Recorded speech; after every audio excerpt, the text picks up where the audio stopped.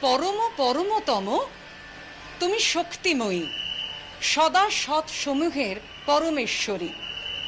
আসলে সন্ধি পুজোয় এবং তার আগে অষ্টমীতে মায়ের যে রূপ, তা বলে বর্ণনা করা যায় না। মানে আমাদের পক্ষে সেটা সত্যিই অসম্ভব।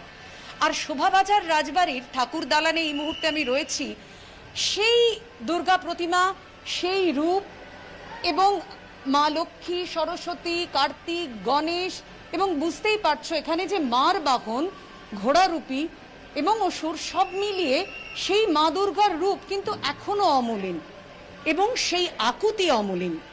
যে আকুতির টানে বারবার মানুষজন চলে আসেন এই শোভাবাজার রাজবাড়িতে এবং শোভাবাজার রাজবাড়িতে এলে, না এলে যেন সেই সাবেকি প্রতিমা রাজবাড়ির পুজো দর্শন হয় না। কারণ এখানে যে সেই পরম আকুতিটা থাকে। প্রচুর মানুষজন এসছেন শোভাবাজার রাজবাড়িতে যাদের সঙ্গে একটু কথা বলে নেব কুসুমিতা।